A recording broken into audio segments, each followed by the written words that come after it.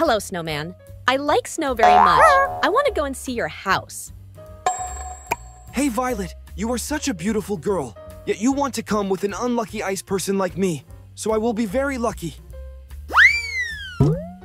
Nothing like that. I like the cold very much. And look outside, it is very hot, too.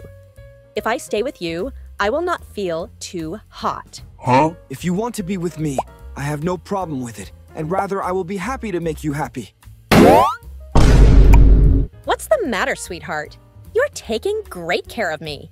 You are not letting me face any kind of shortage. What is it that we should take good care of the guests coming to our house? Only then, they will keep coming to our house again and again.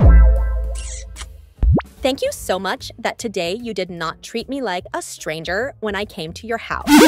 From today onwards, I will come to meet you every day.